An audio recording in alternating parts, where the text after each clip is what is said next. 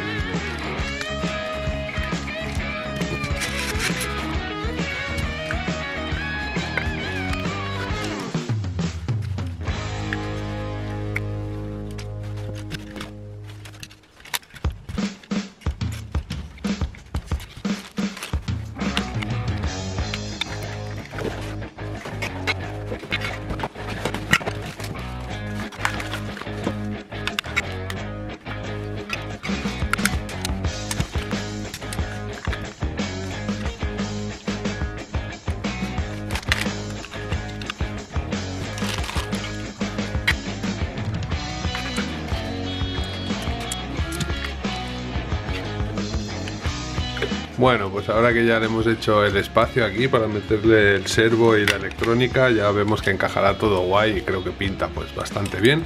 Entonces nos vamos a ir al ordenador, vamos a diseñar una pieza para ajustar todo esto aquí y creo que va a quedar muy guay.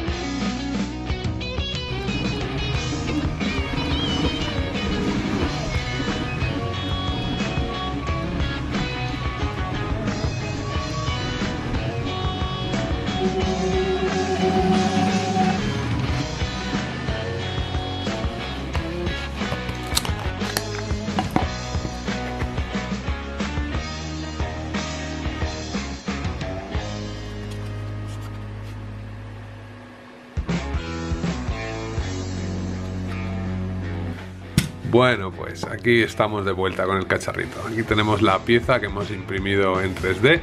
Aquí está la razón por la que hay que tener una impresora 3D. Como veis ha sido muy fácil hacer el diseño, es una pieza muy sencilla. Y bueno, se me ha olvidado en el diseño cuando la estaba haciendo dejar el agujero para los cables. Y bueno, eso sería tan fácil como editar el diseño que ya tengo empezado y hacerle esto. Lo que pasa que he pasado y directamente se lo he hecho con un cúter para ahorrar tiempo. Como esto no es una pieza que se vaya a ver ni nada, me da igual. Así que nada, vamos a montársela y ver qué tal queda.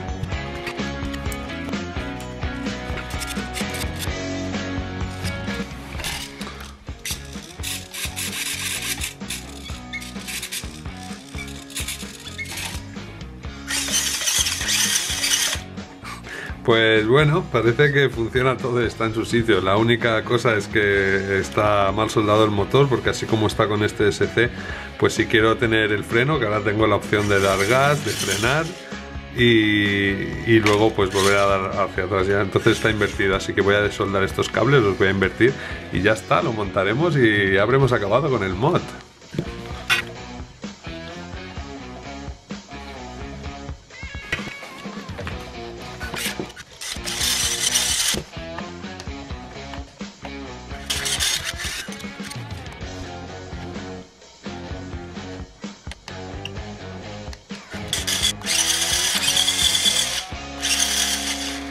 Ahora sí que funciona. Vale, pues vamos a montarlo.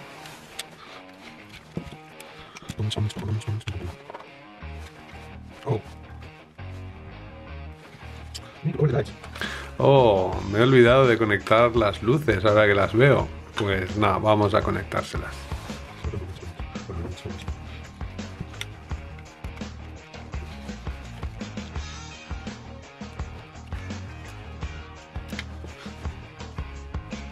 Bueno, pues buscando por ahí he encontrado este kit de luces delanteras y traseras que tenía por ahí apalancado. Como son el mismo tamaño de los LEDs que lleva delante, pues los vamos a cambiar y así también le vamos a poner luces en la parte de atrás, que no nos lleva. A ver qué tal nos queda. Veo que aquí trae adaptadores para ponerlos en, caso de que no tenga, pues hace un agujerito y se pone esto, pero como nosotros en principio tenemos, quizás en la parte de atrás y si me queda bien, pues no me hará falta.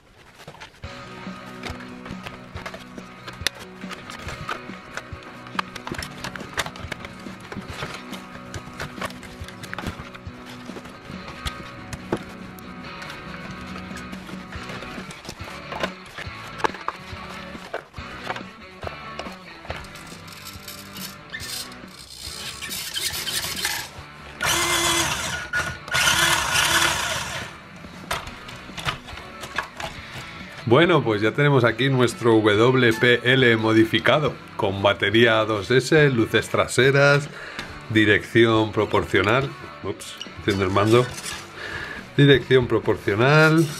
Ahora con el nuevo ESC también tenemos freno, o sea, sería gas, freno y marcha atrás, lo cual está pues bastante guay. Y bueno, pues nada, muy contento con el mod, eh, sobre todo pues mira, pues como se me había olvidado ponerle las luces, ahora ya también tenemos luces en la parte de atrás. Ha quedado todo súper encajadito, de hecho abrimos aquí, tenemos el mismo compartimento y bueno, pues nos salen aquí algunos cablecitos del transmisor, la batería de 2S, Hubsan ahí dentro metida, súper guay. Pues si queréis modificar el vuestro así, ya sabéis cómo hacerlo, es muy sencillo, os dejo en la descripción del vídeo algunos links que os podrán ayudar a hacerlo. Y para los que no tenéis impresora 3D, pues pasaros también por la descripción del vídeo, que tenéis ahí unos cuantos links de impresoras pues que son bastante baratas y creo que merece la pena tener una hoy en día. Pues bueno amigos, este es el vídeo que quería haceros hoy, tuneando mi WPL y tuneándolo un poquito. Espero que os haya gustado el vídeo y que nos dejéis un like, también que os suscribáis al canal si no lo estáis o si estáis interesados en ver este pequeñajo en acción os gustan los drones, pues suscribiros a Songolan que siempre intentamos subir vídeos nuevos. A los que ya estáis suscritos al canal, como siempre os digo amigos, os mando un saludo. Muchas gracias por conectaros a Songolan y nos vemos dentro de poco en otro vídeo. Hasta luego.